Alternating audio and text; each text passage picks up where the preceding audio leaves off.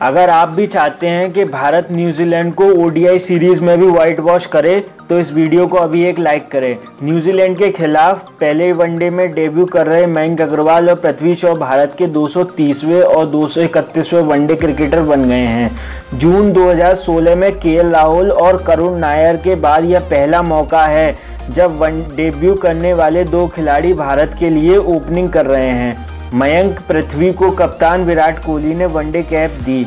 दो, साल 2016 में भारत की तरफ़ से जिम्बाब्वे के लिए जिम्बाब्वे में राहुल और करुण नायर ने भी डेब्यू किया था।